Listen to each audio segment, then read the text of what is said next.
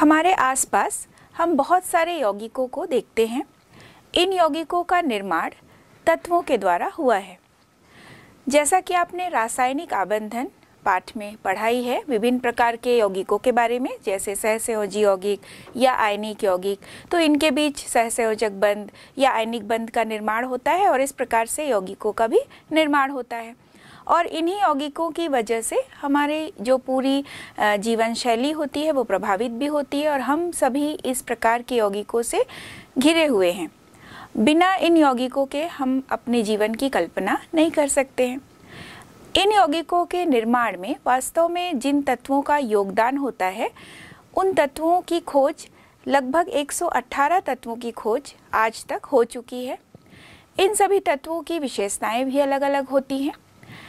यहाँ हमने कुछ तत्वों के बारे में, कुछ यौगिकों के बारे में पढ़ा है। विशेष रूप से हमने नाइट्रोजन, ऑक्सीजन, कार्बन, इनसे बने कई सहसंयोजक यौगिकों के बारे में पढ़ा है। जैसा कि हमने सहसंयोजक यौगिक में एक उदाहरण पढ़ा था, अमोनिया का। तो अमोनिया का जो सूत्र है वो NH3 है और यह अमोनिया एक सहसंयोजी यौगिक है जिसका निर्माण नाइट्रोजन और हाइड्रोजन से हुआ है।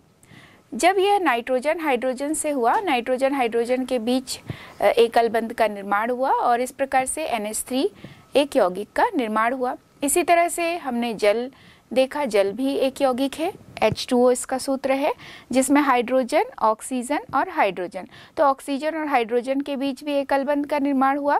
और दूसरी तरफ़ भी ऑक्सीजन और हाइड्रोजन के बीच भी एकल बंध का निर्माण हुआ और यहाँ पर साझेदारी से बंध का निर्माण हुआ और इस प्रकार H2O एक सहसंयोजी यौगिक है। ऐसे ही कई यौगिकों के बारे में हमने जाना रासायनिक आबंधन वाले पाठ में। तो यहाँ पर हम कुछ ऐसे और यौगिकों के बारे में पढ़ेंगे जो सिर्फ़ कार्बन और हाइड्रोजन से ही बने होते हैं।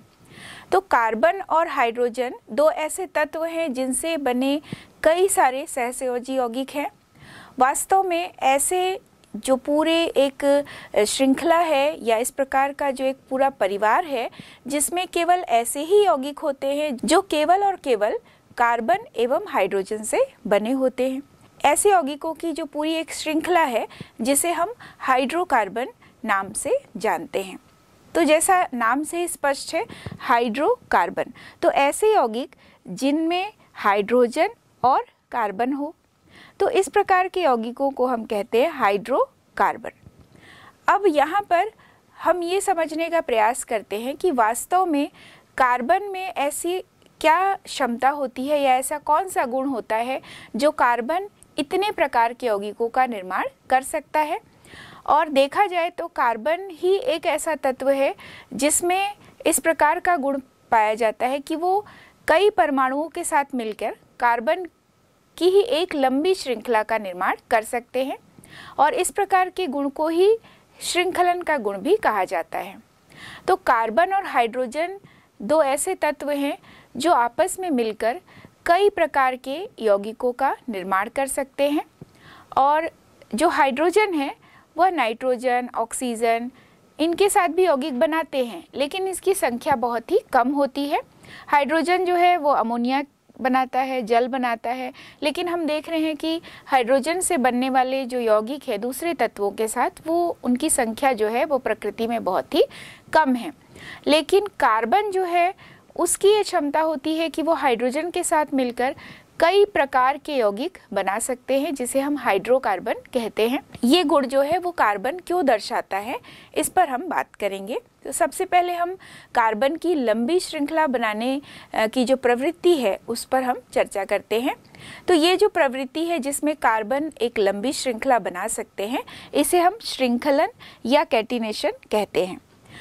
तो हाइड्रोकार्बन का जो सबसे सरलतम हाइड्रोकार्बन माना जाता है, वह है मेथेन जिसका सूत्र होता है सी एच फोर यहाँ पर हम देख रहे हैं कि कार्बन हाइड्रोजन के साथ एकल बंध बनाए हुए हैं और चारों तरफ़ यह हाइड्रोजन से एकल बंध से जुड़ा हुआ है। तो सी एच फोर इसका सूत्र है। यहाँ पर हम देख रहे हैं कि यदि पूरे मेथेन में एक हाइड्रोजन परमाणु को हटा दिया जाए।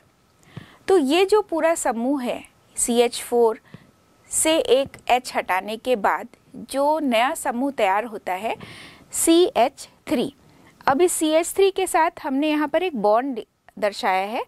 इस बॉन्ड का यह अर्थ है, यह बंध जो है, वह दूसरे किसी तत्व से या किसी दूसरे समूह से जुड़ेगा। क्योंकि कार्बन की जो संयोजकता होती है, वह चार होती है। कार्बन का जो परमाणु क्रमांक है वह छः है। जब हम इसे विभाजित करते हैं, इसका इलेक्ट्रॉनिक विन्यास बनाते हैं तो दो और चार लिखते हैं। तो यहाँ पर हम देख रहे हैं कि अष्टक पूरा करने के लिए इसे चार इलेक्ट्रॉनों की आवश्यकता है। और ये चार इलेक्ट्रॉन ये साझेदारी से पूर्ण करते हैं अपने। तो कार्बन एक ऐसा तत्व है जो साझेदारी से अपने अष्टक को पूरा करता है। और ये चारों तरफ़ से दूसरे तत्व या समूह से एकल बंध से जुड़ा होता है। यहाँ पर हम बात करते हैं मेथेन से बना हुआ मेथिल समूह की। तो मेथेन में जब हम देख रहे हैं कि एक एच हटा देने पर सी एच थ्री समूह बना, जिसमें एकल बंध है, अब यह सी एच थ्री समूह मेथिल कहलाता है। तो जब मेथेन है, मेथेन से एक एच हटा दिए तो हटाने के बाद यहाँ बनता है मेथिल। सी एच थ्री पर एक बॉन्ड लगा हुआ है। यहाँ पर यदि हम मेथेन में से एक एच हटा दें और उस एच को हटाकर हम एच की जगह पर सी एच थ्री लगा दें तो वास्तव में यह एक नया सूत्र बन जाएगा, एक नया यौगिक बन जाएगा C H three C H three यानी इस सी से भी तीन एच जुड़ा हुआ है और इस सी से भी हम देख रहे हैं कि तीन एच जुड़ा हुआ है। यहाँ पर हम देख रहे हैं कि कार्बन की संख्या दो हो गई और हाइड्रोजन की संख्या जो है वो छः हो गई। तो ये जो बना है, वह कार्बन के दो परमाणुओं से बना है और साथ ही इसकी संयोजकता को पूर्ण करने के लिए इसके चारों तरफ़ हम देख रहे हैं कि एकल बंध है और एकल बंध से यह हाइड्रोजन से भी जुड़ा है और एकल बंध से यह कार्बन से भी जुड़ा है। तो इस प्रकार जो सूत्र एक प्राप्त हुआ, एक नया यौगिक प्राप्त हुआ, इसे हम एथेन कहते हैं। तो हम ये कह सकते हैं कि एक मेथेन से H हटाकर उस H की जगह पर हम एक मेथिल ग्रुप जोड़ देते हैं। तो मेथेन ही एथेन में परिवर्तित हो जाता है। ये जो मेथिल समूह है, यदि इसे हम लगातार मेथेन जैसे सरलतम जो यौगिक है, उसमें लगाते रहें एक एक एच को हटाकर तो यहीं से हाइड्रोकार्बन की एक लंबी श्रृंखला का निर्माण प्रारंभ हो जाता है। तो यहाँ पर हमने देखा कि एक हम सरलतम हाइड्रोकार्बन मेथेन से किस प्रकार एथेन प्राप्त कर सकते हैं। तो यहाँ पर यह हमने देखा कि कार्बन एक लंबी श्रृंखला में जो परिवर्तित हो रहा है, वह मेथेन के एच को हटाकर मेथिल के जोड़ देने पर मेथेन से ही एथेन के बनने पर हुआ। इसी प्रकार यदि हम श्रृंखला को और बढ़ाएँ तो हमें किस प्रकार के यौगिक प्राप्त होंगे, इस पर हम बात करते हैं। चलिए देखें कि यदि हम एथेन में ही एक सी एस थ्री और लगा दें तो एथेन जो है, उसमें हम देख रहे हैं कि एक कार्बन और जुड़ जाता है। तो यहाँ पर यदि हम इसके अणुसूत्र को देखेंगे तो कार्बन की संख्या हो गई तीन तो सी थ्री होगा और H की संख्या जो है, यहाँ पर आठ हो गई। तो सी थ्री एच एट जो कि प्रोपेन को दर्शाता है। यहाँ पर हम देख रहे हैं कि कार्बन की संख्या तीन है और हाइड्रोजन की संख्या आठ है और सभी आपस में एकल बंध से जुड़े हुए हैं। तो यहाँ पर हम हाइड्रोकार्बन के एक ऐसे परिवार की बात करते हैं, जहाँ पर केवल एकल बंध से ही सभी कार्बन परमाणु और एकल बंध से ही कार्बन से जुड़े हुए जो हाइड्रोजन है, वह जुड़े हैं और ये कार्बन की संयोजकता को पूर्ण कर रहे हैं, कार्बन की संयोजकता जो है वो चार होती है। और हम सब तरफ़ से ये देख रहे हैं कि कार्बन की संयोजकता जो है वो पूर्ण हो गई। चाहे हम मेथेन लें, एथेन लें या प्रोपेन लें, ये तीनों ही जो यौगिक हमने देखा, ये मेथिल समूह को लगातार यदि हम जोड़ते जाते हैं, एक एक एच को हटाते हुए तो एक कार्बन की लंबी श्रृंखला प्राप्त होती है और यह एक संतृप्त हाइड्रोकार्बन की श्रृंखला है, जिसमें कार्बन कार्बन के बीच एकल बंध हमें देखने को मिलता है। यहाँ पर हम श्रृंखलन को परिभाषित कर सकते हैं कि कार्बन एक ऐसा तत्व है जो अपने ही परमाणु के साथ और अन्य तत्वों के परमाणुओं के साथ साथ अपने ही कार्बन परमाणुओं के साथ प्रबल आबंध बनाता है। तो ये जो कार्बन है, इसके इस तरह के बंद बनाने की क्षमता के कारण ही इसमें श्रृंखलन का गुण पाया जाता है। श्रृंखलन के इस गुण के कारण ही हम ये पाते हैं कि पृथ्वी पर जो कार्बन से बने हुए यौगिकों की संख्या बहुत अधिक होती है अन्य किसी भी तत्वों से मिलकर बने हुए यौगिकों की तुलना में। तो कार्बन में यह गुण होता है कि वह आपस में भी जुड़े आपस में अपने परमाणुओं से भी जुड़ता है। साथ ही वह दूसरे तत्वों के साथ जुड़कर भी कई प्रकार के यौगिकों का निर्माण कर सकता है। यहाँ पर हम यदि बंध की बात करते हैं तो कार्बन कार्बन के बीच एकल बंध है। यदि हम एक लंबी श्रृंखला बनाते जाते हैं तो लंबी श्रृंखला बनाने में बहुत अधिक जगह भी लगता है और इस प्रकार की संरचना सूत्र को लिखना भी थोड़ा कठिन हो जाता है। तो हाइड्रोकार्बन का जो संघनित निरूपण है, उसे हम देखेंगे कि वास्तव में हाइड्रोकार्बन को जब हम दर्शाएँगे तो एक संघनित निरूपण किस प्रकार से किया जा सकता है?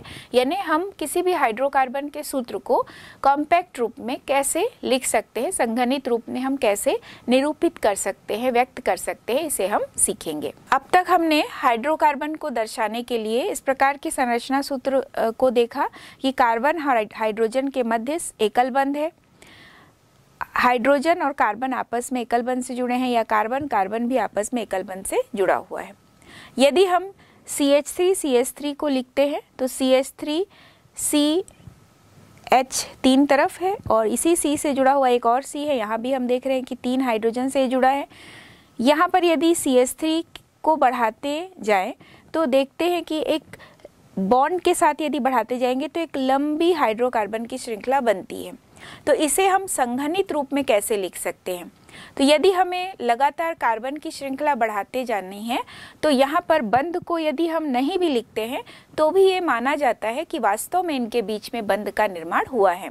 जैसे, यदि हमें एथेन को दर्शाना है तो C2H6 इसका सूत्र होता है। यदि हम इसे संघनित रूप में दर्शाएँगे तो ऐसे भी लिख सकते हैं CH3 CH3 यदि यहाँ पर हम देखते हैं कि सी एस थ्री की ही एक लंबी श्रृंखला जुड़ रही है और मान लीजिए कि हमें छः कार्बन वाला एक श्रृंखला बनाना है। तो C S three C H two C H two C H two C H two C S three यहाँ पर हम देख रहे हैं कि बीच में चार सी एच टू है और दोनों तरफ़ C S three C S three है। ये जो दोनों एंड पर सी एस थ्री जुड़ा हुआ है, इसका क्या अर्थ है? दोनों एंड पर जो सी एस थ्री है, वो सी एस थ्री सी के साथ एच के साथ हम देख रहे हैं कि सी और एच के बीच एकल बंध का निर्माण हुआ है और कार्बन की संयोजकता जो है वो चार होती है। तो ये जो अंतिम शिरा या प्रारंभ का जो शिरा है, यहाँ पर सी एस थ्री और अंतिम सिरे में भी सी एस थ्री लेकिन बीच में हम देख रहे हैं C H two C H two C H two C H two यानी चार सी एच टू है। तो कुल यहाँ पर कार्बन परमाणुओं की संख्या हो गई छः यदि हम इसे पूरे बंद के साथ दर्शाते हैं तो ये काफ़ी जगह लेता है।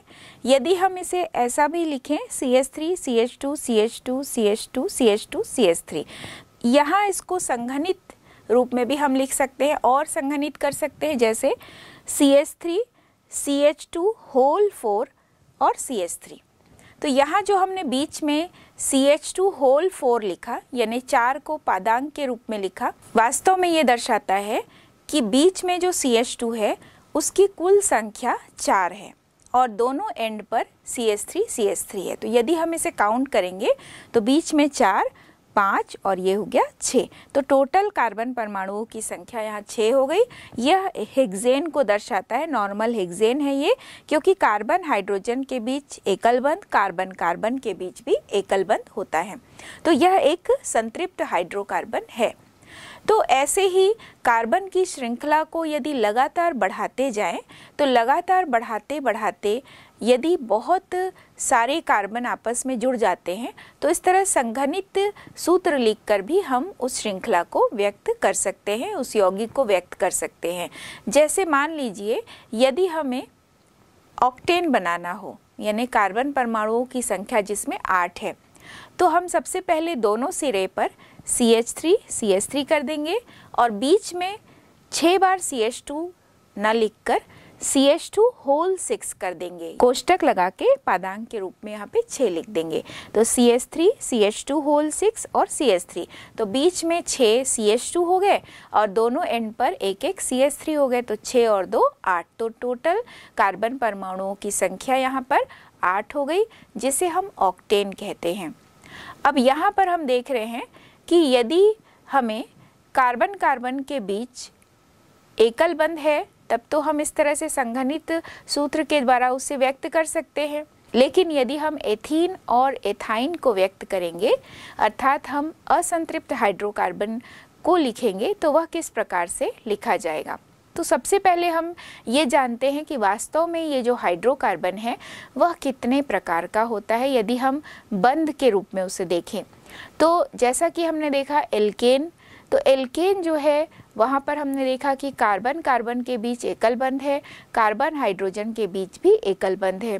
यहाँ पर हम देखते हैं कि हाइड्रोकार्बन को दो अलग अलग श्रेणियों में बांट सकते हैं।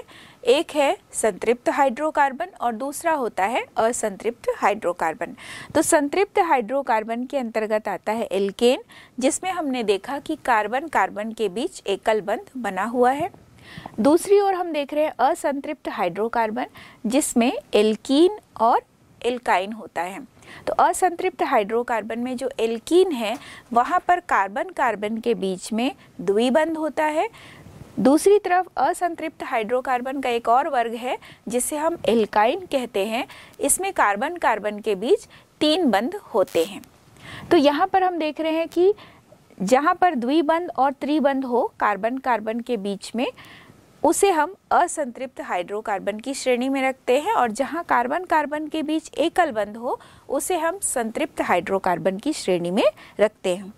तो इस प्रकार हम ये जानते हैं कि जो एकल बंध है, वो संतृप्त हाइड्रोकार्बन को दर्शाएगा और जहाँ पर कार्बन कार्बन के बीच में डबल बॉन्ड या ट्रिपल बॉन्ड है, वह असंतृप्त हाइड्रोकार्बन, क्रमशः इसे हम एल्कीन और एल्काइन परिवार के नाम से जानते हैं। तो एल्कीन और एल्काइन में एक एक बहुत ही साधारण सा जो उदाहरण है या सबसे पहला जो सदस्य है, उसे हम देखेंगे।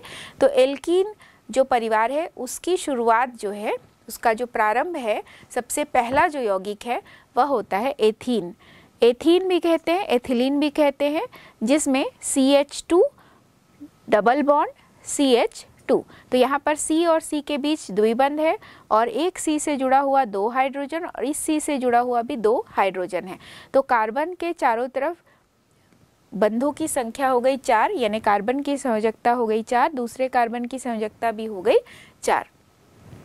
दूसरी ओर हम जो सबसे सरलतम उदाहरण है एथाइन जो कि एल्काइन परिवार का है सी और सी के बीच में तीन बंद हो गए सी और एच के बीच एकल बंद हो गया। तो यहाँ भी हम देख रहे हैं कि कार्बन की संयोजकता पूर्ण होती है, चार होता है, तीन और एक, चार, और इधर भी कार्बन की संयोजकता पूर्ण हो रही है तो तीन और यह हाइड्रोजन के साथ हो गई एक, चार।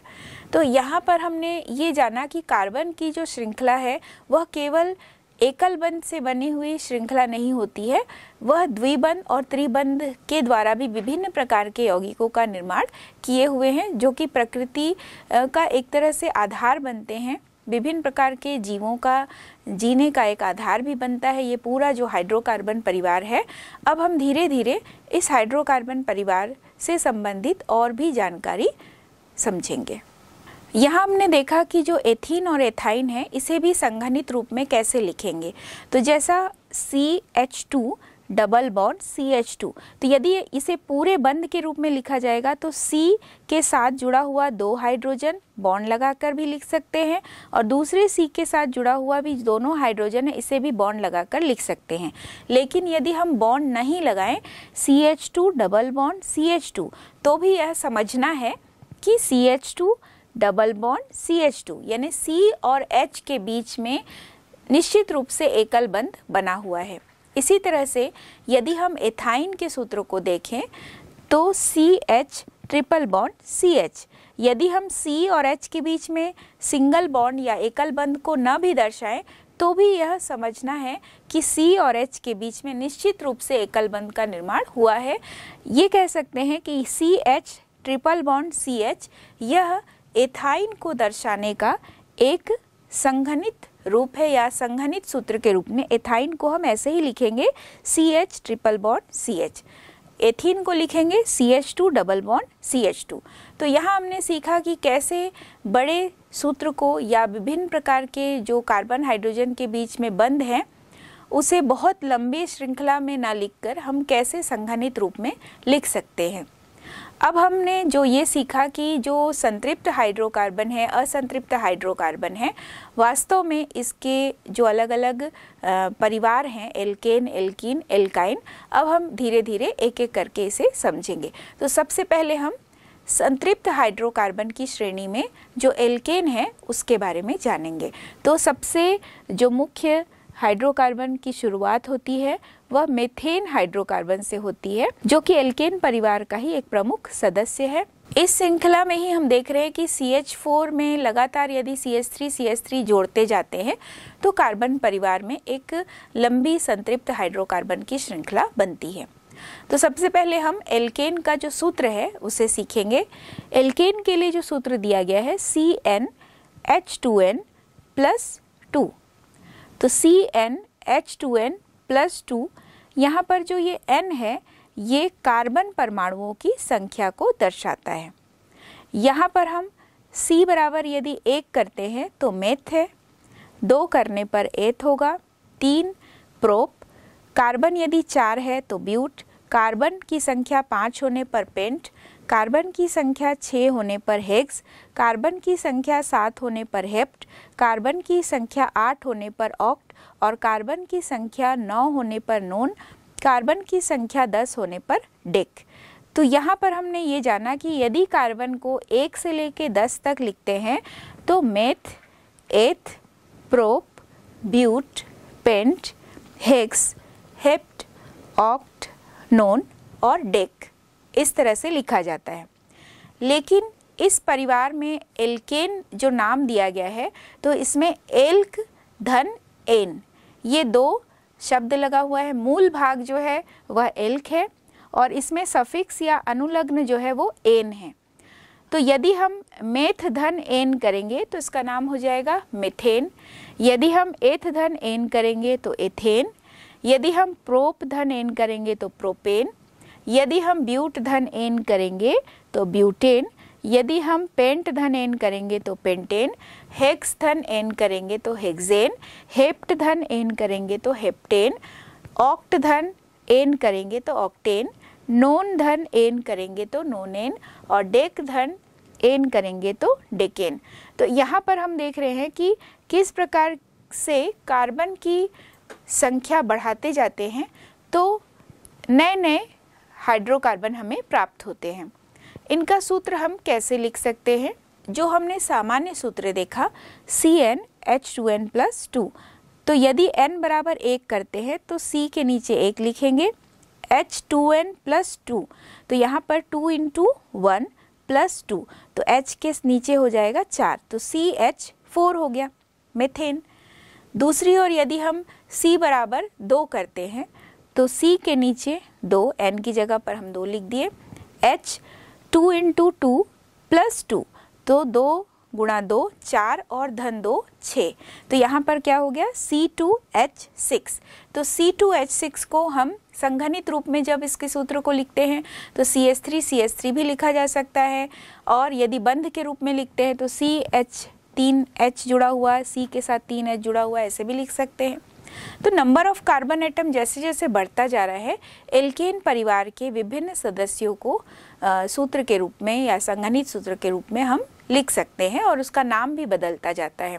यदि हम बीच से किसी एक सदस्य का सूत्र जानना चाहते हैं, जैसे मान लीजिए हम कार्बन बराबर पाँच, यानी कार्बन परमाणुओं की संख्या यदि पाँच होगी तो वह किस प्रकार का हाइड्रोकार्बन बनाएगा? तो पेंट पाँच कार्बन परमाणु को हम पेंट कहते हैं और एल लगाने पर पेंटेन होता है। तो इसका जो सूत्र होगा, कार्बन के नीचे लिखेंगे पाँच hydrogen two into five plus two तो सी फाइव एच ट्वेल्व ये सूत्र होगा इसमें। यानी कार्बन परमाणुओं की संख्या पाँच हो गई। कार्बन आपस में सीधी श्रृंखला से जुड़ी हुई है, मैंने सिंगल बॉन्ड से वो जुड़ा हुआ है और हाइड्रोजन के साथ भी वो सिंगल बॉन्ड से जुड़ा हुआ है। यदि हम पेंटेन को संघनित सूत्र के रूप में लिखेंगे तो C H three C H two whole three कर देंगे और एंड में भी लिख देंगे सी एच थ्री तो दो सी एच थ्री दोनों तरफ़ और बीच में C H two whole three हो गया। तो तीन और दो पाँच। तो कुल कार्बन परमाणुओं की संख्या यहाँ पर हो गई पाँच। तो ऐसे ही हम लगातार यदि श्रृंखला को बढ़ाते जाएँ, जैसे यदि हम ऑक्टेन लिखना चाहते हैं तो सी एस थ्री एंड में भी सी एस थ्री और बीच में C H two whole six कर देंगे। तो इधर भी सी एस थ्री और लास्ट में भी सी एच थ्री और बीच में छः सी एच टू हो गए तो छः और दो आठ। तो कुल कार्बन परमाणुओं की संख्या यहाँ पर आठ हो गई, जिसे हम ऑक्टेन भी कहते हैं। तो यहाँ पर हमने विभिन्न अणु सूत्रों को जाना। इन अणु सूत्रों में हमने ये देखा कि इसका जो सामान्य सूत्र है, इसे हम C N H two N plus two के नाम से जानते हैं।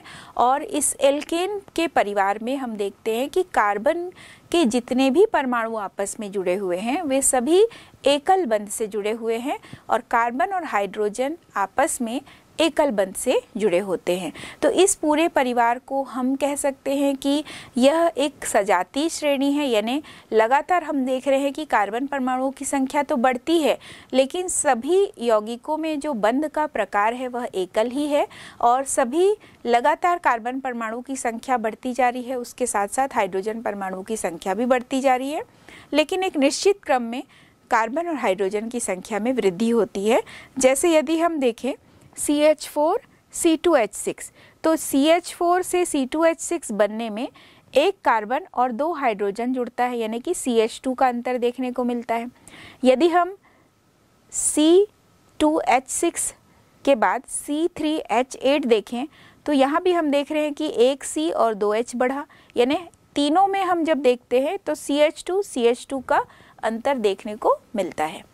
तो यहाँ पर हमने देखा कि जब मेथेन एथेन और प्रोपेन या ब्यूटेन पेंटेन हेक्सेन इसकी एक लंबी श्रृंखला यदि हम बनाते हैं, पूरे परिवार को देखते हैं तो सभी में हम देख रहे हैं कि सी एच टू का अंतर देखने को मिलता है। तो यह एक सजातीय श्रेणी को दर्शाता है।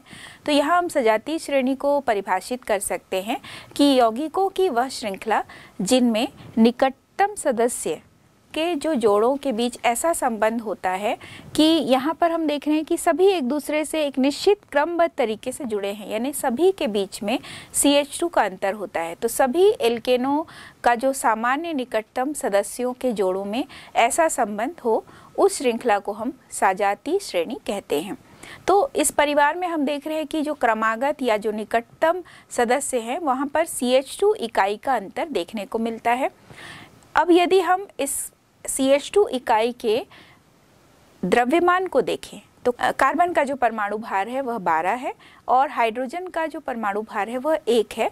लेकिन चूँकि H की संख्या दो है सी एच टू में तो H one into two plus twelve तो 12 plus two equal to fourteen unified mass यहाँ पर हम देख रहे हैं कि यदि दो क्रमागत सदस्य के बीच सी एच टू का अंतर है तो दो क्रमागत सदस्यों के बीच 14 यूनिफाइड मास का अंतर भी देखने को मिलता है।